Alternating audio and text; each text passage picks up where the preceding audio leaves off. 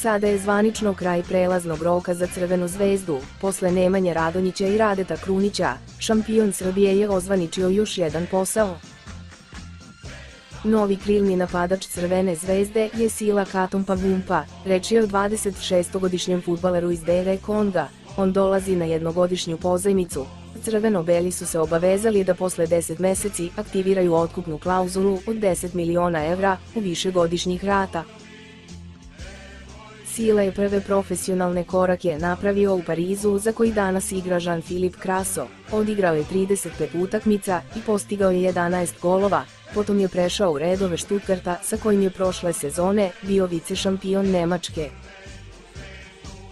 Na 132 utakmice za Švabe je postigao 35 golova, bio je jedan od najbolje ocenjenih igrača Bundeslige, kažu da je jedan od najbržih igrača koji igraju u Evropi. Može da pokrije obe krivne pozicije, ali da bude i napadač, za reprezentaciju Derek Onga je odigrao 16 utakmica i ima jedan gol,